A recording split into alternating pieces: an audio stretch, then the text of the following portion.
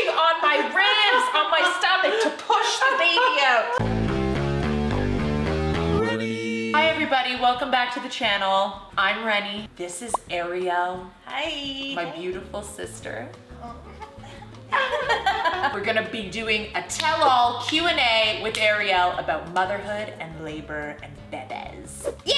Don't forget to like and subscribe, or what, Arielle? Like and subscribe, and you'll get this. First things first. What's labor like? I'm afraid.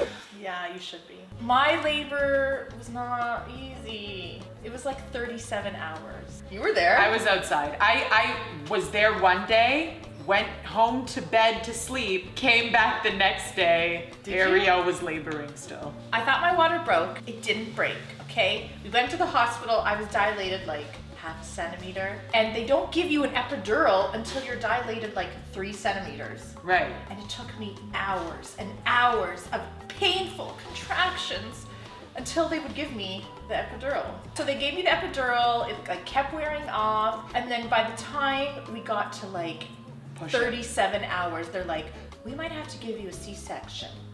And I'm like, do it. do it. Because it was so painful. Arielle, I'm about to give birth like in like a month What, and a half. do you want me to lie? Do you want me to lie? By this time, they're like, okay, push, push, push. I sent like everybody out of the room except the freaking doula. And I had her and like five midwives in the room. And they're like, tistically alai, tistically alai, tistically alai. I keep telling you to do different, different things. They're like, put your hands under your ass. Put your hands here. Put your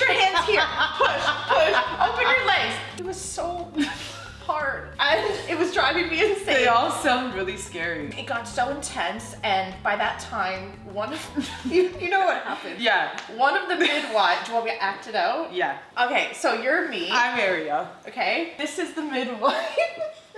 Lie down. Lie Okay. down here. Like this. Okay. This is the midwife. Pushing on my ribs, on my stomach to push the baby out. Every time you imitate that, I cry because I'm like, is that real? Like, I. I can't believe a nurse like It's real. shoved her butt in your face so that she could push down on your She, stomach. she honestly though, she got me through it. She's the reason I probably the reason I didn't need a freaking C-section. Pushing, pushing, pushing, pushing, excruciating pain. Finally, they took her out. It was so great. When you held her in your arms, were you like, did you forget about everything that just happened? Or were you like, what the fuck was that? Like, were you still reeling? I- well, I it? think I was like kind of like stunned. Just forget about that. Block that out. Block that out. I can't believe you're trying. You're you want to get pregnant again. That's like okay. I do not understand how every woman in this world who's given birth does this. What the fuck? Every mom is a superhero. It's just, it's insane. This is gonna be great. Don't worry. No, but this is the thing. They say that the first time is the worst. Right. Which is it's my first time, so it's gonna be the worst. Do you have any advice for me to survive? Like, was there anything that you were missing that you would have that would have helped you? Yes. So I tore. I think it's kind of like common. Yes. So I didn't do this. My doula was like, buy the oil, buy the perineum oil. Oh, there's a special oil for it. Yeah. Okay. And you rub it, rub, rub, rub, massage, like that whole Area. area. Arielle's talking about the perineal massage. Yeah. Perineum is the area between your lady parts and butt hole. That area is what tears, which is so scary. It's really, really important for me because I weighed the baby. And at 33 weeks, our baby boy was 2.6 kilos, 5.7 pounds. Ready? You have a month and a half left. And I have a month and a half left. And I was over four kilos as a baby, and Hadar was over four kilos as a baby. So, like, thank you, bye bye, I am you get stitched up and then you heal and whatever. You're fine. Okay, so I should prepare that way. Anything Do- else I should do? Yeah, work out. Be in good shape. Okay? It's a little late for me right no, now. No, it's not late. I told out. you, do pregnancy exercises. Yeah, okay. Like stretching. Squatting, stretching, walking. Because delivery is a fucking Marathon. it can be a marathon and the better shape you're in, the better. Like the easier. Let's say I make it through the labor in one piece. Great. Now I have to breastfeed. Well, I don't have to breastfeed, but I want to try. Yeah. And that's something that is kind of, I hear it's difficult. Do you have any tips? Breastfeeding tips? This is my tip. Do you want to be a good mom? Shut up. yeah. Your secret weapons. you don't need planning, you don't need preparation, you don't need cooking, you just whip out the breasts. if you can breastfeed successfully, it'll make your life a lot easier. Really? I would also imagine it would be like annoying because like if I'm breastfeeding, then Hadar can't really help me feed the baby. You pump, put it in the fridge. Hadar feeds the baby. That's what people do.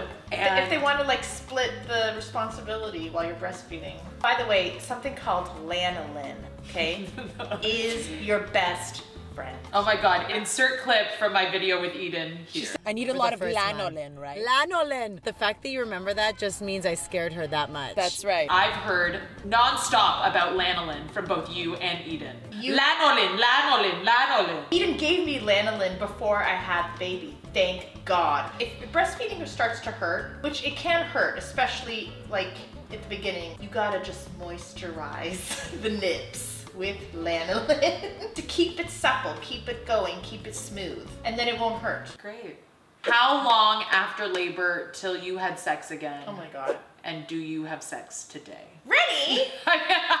You're not gonna wanna have sex for a while, yeah. especially if you tear No, I don't, yeah. and you get stitches. It's gonna hurt. You gotta like heal. No, I'm not running to have sex again. I know Don't you worry. and Hadar can't fucking keep your hands off each other. Just hold off for like at least six weeks. it's gonna be longer than that. Yeah, that's fine. I just want to say something. You're not gonna like it, but just recently, I'm like more into sex. So like an entire year after you gave birth? I'm not saying you're, you're not gonna have sex. You're not gonna want to have sex. You're gonna want to heal. You're gonna be fucking exhausted. Yeah. Okay? You're gonna be with the baby 24 7. Yeah. You think you're gonna feel sexy? How can I be a cool mom like you? Like you're so chill and Millie's the best baby ever and she's so smiley. Okay, first of all, Boobs. no. Just just whip out the boobs. Okay, this is kind of like a secret weapon. Slash, I don't even know if this is good advice. when if your baby like falls and like starts crying, like breastfeed them. if they start like whining about like whatever, breastfeed. I can't teach you to be cool. I'm sorry. You just gotta be born with it. no, but you guys are chill. We're pretty Like- chill, but we can also be dramatic and very sensitive. Hadar's chill, and you're chill. Hadar's not as chill as you think. Hadar, are you gonna be ch- a chill dad? No. Just try to be calm in front of the baby. Yeah. And don't get worked up easily, you know? Oh yeah, it's so easy. Just do that. Okay, Like- great. I think the problem is, What? as a mom, you're so sleep deprived Yeah. that you're probably more on edge. It's harder to be cool. You'll get used to it. Will life ever be the same again? No. No. No. No. No. Listen, is that a bad thing? I don't think so. I mean, right now, Hadar and I kind of spend every night the same. We just like watch TV and go to bed. And there's nothing else happening. There's going to be a drastic Change. shift. Yeah.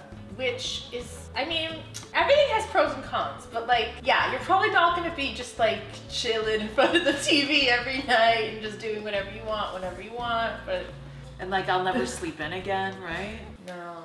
In the first few months, you're gonna be like, you know, waking up for the night feedings. You're gonna be watching a lot of TV. You're gonna be up at two, three, four, five, six in the morning. While Hadar is like sleeping. Or no, unless you do the pumping. You'll be good. You'll be such a good mom. Yay. Thank you, Mary. Well, you know why I'll be good is because? I'll have you nearby. Yeah. If you ever want a break from breastfeeding, I'm here. no, that's not what I I'm kidding. I didn't mean that I need you to um. breastfeed my kid. I just meant for sanity reasons. Maybe I'll call you in the middle of the night when I'm up with the baby sometimes. How can I help? just be there to be an ear for me to bitch to. Okay. Thank you. Okay, so to sum it up, we've reached the end of our questions. I just want to know, is there any final tip that you want to leave us with that you wish you knew during like uh, labor slash new motherhood? Lanolin. Lanolin. Lanolin. This is what you do. Your mind needs to relax. All right? So that your body, everything can relax, and then your body relax. Everything needs to open. Exactly. So bring an iPad with shows that you want to watch. It's actually an amazing tip. What I did is literally, I'm like, everybody shut up. Bring me the iPad. And I watched hour after hour after hour of Breaking Bad. Amazing. and it works And because it you're works. distracting yourself. It took, it, yeah, you're not thinking about anything except the show. Get get a show that you're really gonna get into. You know what I mean? it's gonna really distract me. Yeah. And like make me use my brain. Yeah. And so we've reached the end of our questions. Thank you so much, Arielle, for being here. I love you so much. And friends, please leave your best birth tips, but only your best, in the comments below. Thank you so much. I could use all the help I can get. Yes, thank you. I'm really afraid still. Thank you so much for tuning in. Thank you, Arielle, for being here. I love you. I love you. Everybody follow her. I'll put your Instagram here. Yeah. Like and subscribe, girl, bitches. you want some of this? Yeah! Yeah! All right, thanks everybody. See you next week. Mwah.